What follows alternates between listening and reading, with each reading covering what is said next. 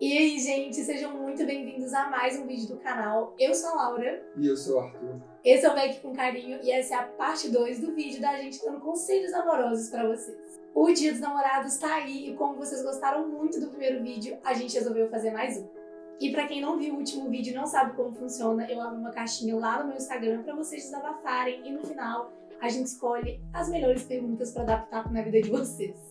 Então, se você não quer perder a próxima caixinha e nem conteúdos de veganismo e receitas, já me segue por lá também. Então, sem mais delongas, a gente vai começar aqui com a primeiríssima. Quero pegar meu chefe que está em relacionamento aberto. Alguma dica? B.O. Bom, então, é, é, isso, né? A primeira coisa aí que você falou é que, que enfim, seu chefe está em relacionamento aberto e eu acho que cada um tem sua forma de entender relacionamentos, qual é o casal, enfim, isso eu acho que é questão deles também. Então, sobre essa questão aí da, da chefia, né, que você colocou também, eu acho que é, é algo a se pensar, porque né, nós nunca sabemos qual, qual, qual vai ser o dia de amanhã, o que, que, que amanhã pode estar aí. Então, é, então, se é uma relação exclusivamente, acho que de, de trabalho, e ela se iniciou né, nesse ambiente de trabalho também, se vocês nunca antes tiveram, enfim, seja qualquer relação, se vocês se conheciam antes desse trabalho, se é, enfim, uma relação de, de amizades, já se pegaram, qualquer coisa do tipo. Enfim, se ele não é uma pessoa, acho que, que você conhece fora do ambiente de trabalho também, é, eu, eu creio que seja algo bem complicado, assim. Acho que, querendo ou não, essa, essa enfim, suposta pegaçãozinha aí que vai acontecer, ela vai ter uma consequência, né? Seja ela, enfim, boa ou ruim também, isso subconscientemente nas pessoas influencia de alguma forma. Então, é, acho que é bom, bom pensar bastante e também, obviamente, tentar é, entender a chefe também, né? Tipo assim, se é a pessoa que sabe separar as coisas. Porque, enfim, querendo ou não, você pode tipo, entrar numa friaça aí que, tipo, vai, assim, pode ser que potencialmente, sei lá, tire seu bem falando, entendeu? Então, acho que as coisas têm que ser, entendeu? Colocadas na balança e a balança também conta com contrapeso, né? É, que a vida é uma só, né? É, eu acho que eu concordo bastante com vocês.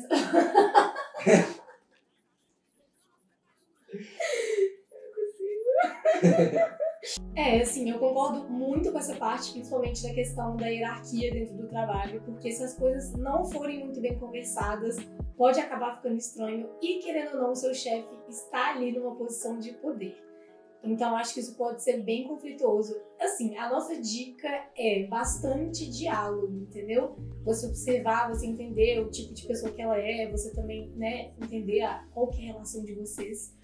E não tome uma decisão precipitada que você pode se arrepender depois. Então agora, bora pro segundo desabafo do dia. Meu namorado não gosta de ir em festa comigo. Ele diz que não curte do mesmo jeito que ele faria se tivesse com os amigos dele. Abre parênteses. Não bebo muito que nem eles. E aí, toda vez que tem festa na facul, fica uma situação muito chata. Até porque eu não tenho muitas amigas e não tenho com quem ficar na festa além dele. Enfim, como vocês lidariam com isso? Eu fico insegura e me sinto chata por não me divertir do mesmo jeito.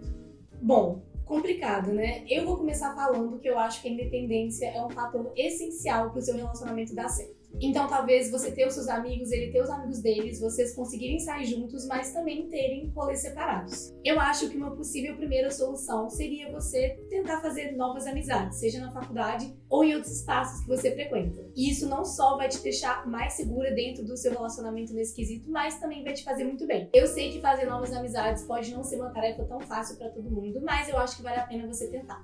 E a outra solução para esse problema específico do relacionamento, eu acho que é o diálogo. Eu acho super importante o seu namorado saber que você se sente assim. Desse jeito, você também vai poder ouvir o lado dele e vocês podem acabar chegando no meio termo e também, às vezes, darem outro tipo de rolê juntos, que tem a ver com o que os dois gostam de fazer. Até porque você não precisa mudar o seu jeito para agradar ele. É muito importante que você respeite a sua individualidade.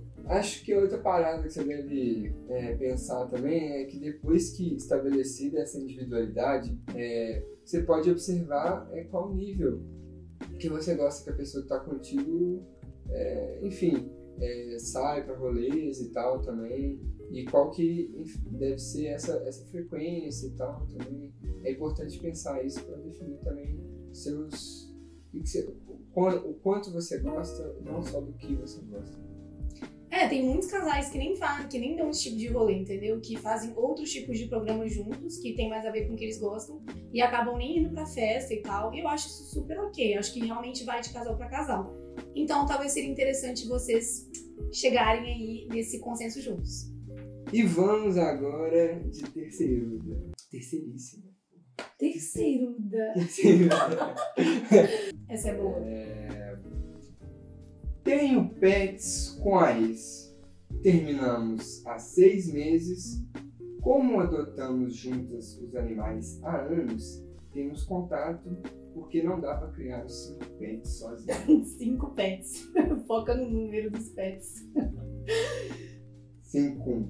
Problema, né? O problema que a pessoa que descreve é que essa essa esse dá em cima quando a gente se vê nos rodízios de cuidados com os pets.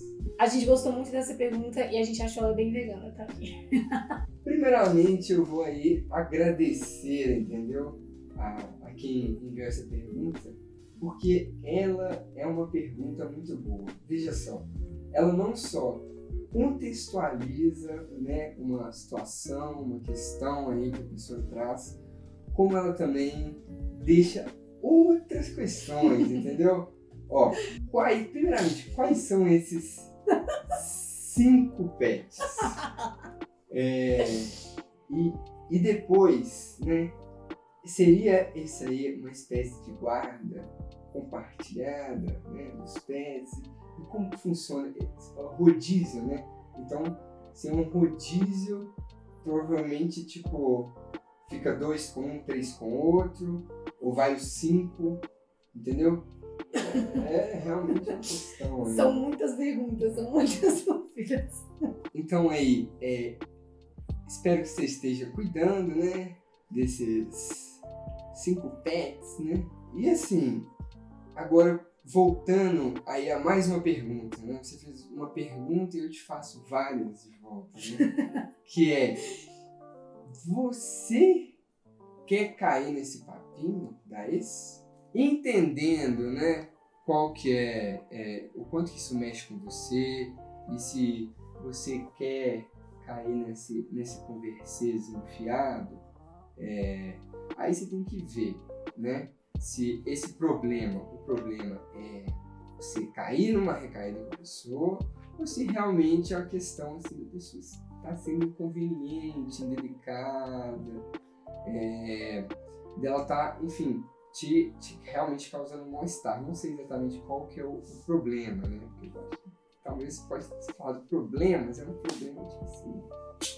Entendeu? Vou acabar caindo ali na rede, mas pode ser também que, tipo, a pessoa te, te, te deixa desconfortável, sei lá, provavelmente, sei lá, vai na sua casa buscar o pet e fica lá. Qual dos pets? Entendeu?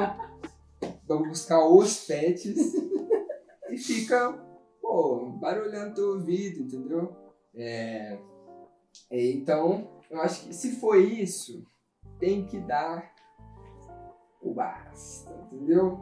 Porque se ela tá falando, é porque existe abertura também para falar, né? Então, se a pessoa tá realmente incomodando. É, se ela não for totalmente inconveniente, uma pessoa que já é naturalmente inconveniente, com abertura ou não, fala o que quer e fica por isso mesmo, entendeu? Mas o que a gente tá falando aqui é que se ela está deliberadamente dando em cima de você, provavelmente tá rolando uma abertura ali. E a gente acha que você precisa identificar esse problema para você entender como você se sente em relação a isso. E essa aqui é a pergunta mais fácil do vídeo. Só queria uma dica de presente pro Dia dos Namorados mesmo. Não pode ser um pet. não. Por favor, por favor, não adotem um pet juntos. Tô zoando, gente.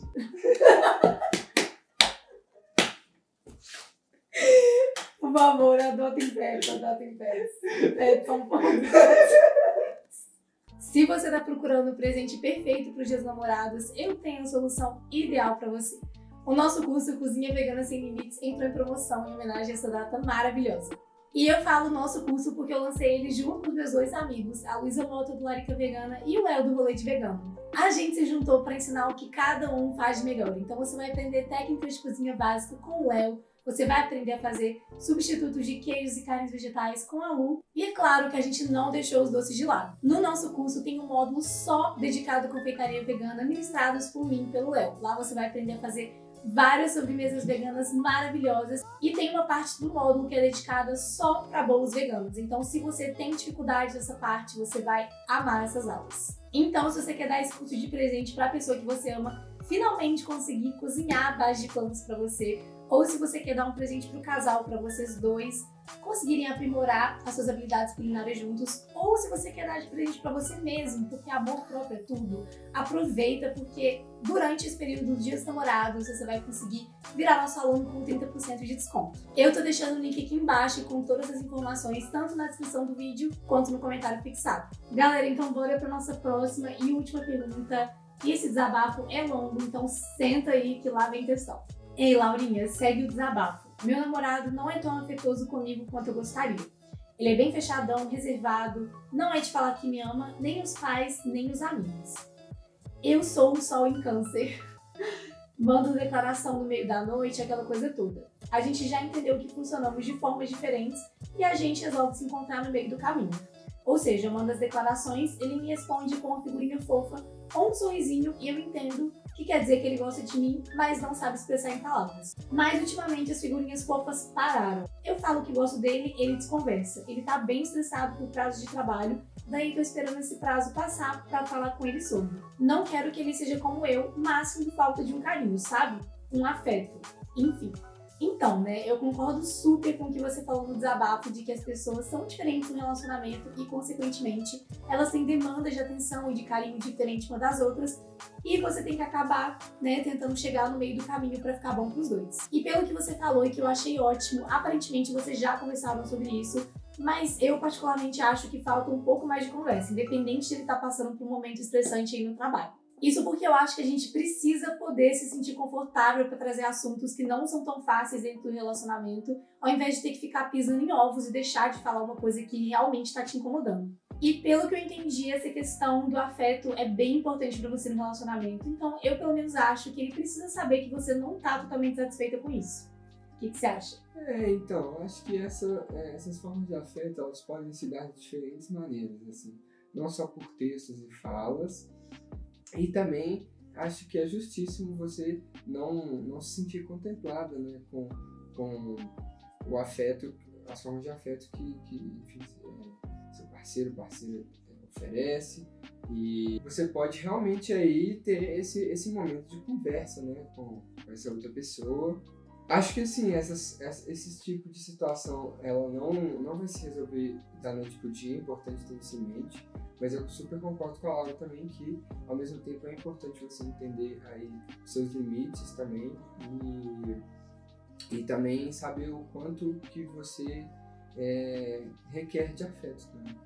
Eu acho super importante você falar isso com ele antes que chegue no limite que vai acabar desgastando a relação de vocês ou até chegar num ponto que você realmente não vai aguentar mais e que você talvez não fale da melhor forma e que essa conversa não seja não ocorra da melhor forma possível, né? Então, a gente realmente acha que vale uma conversa aí e também ter paciência com outra pessoa e entender que outra pessoa também tem os limites dela. E foi isso, gente. Eu espero muito que vocês tenham gostado aí dos nossos conselhos. E se você curte esse tipo de vídeo, já deixa aqui nos comentários contando pra gente se vocês querem ver mais. E também já não esquece de dar o seu like aqui no seu vídeo e se inscrever no canal para apoiar meu trabalho. Então, é isso mesmo, galerinha. Se você aí apoia a Véi com Carinho do canal Véi com Carinho, deixe aí, entendeu? O seu, seu, sua interação, sabe?